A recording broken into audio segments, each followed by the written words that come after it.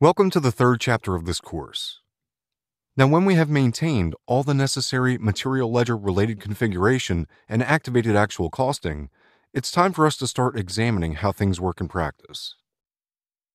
During this chapter, we will see how the system is posting material ledger documents after materials are purchased, transferred, and consumed. You will finally see how the system is recording the price differences that we spent so much time talking about during the introduction chapter of this course. Everything we will be doing in the system will be part of the end to end costing scenario used throughout this course.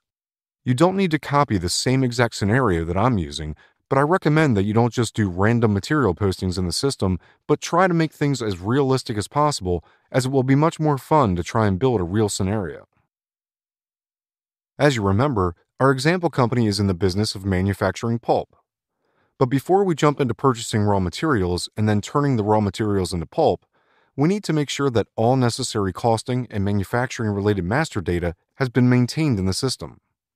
That's why I think it's a good idea to start this chapter with a quick recap of the most important master data elements related to costing.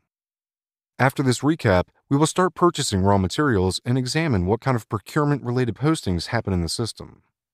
After we have enough raw materials in stock, we can start manufacturing pulp, which allows us to examine postings related to the consumption of raw materials and receiving of finished materials.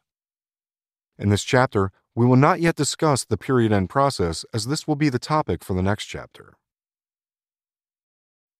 Without further introductions, let's log into the system again and start our preparations to produce thousands of tons of pulp.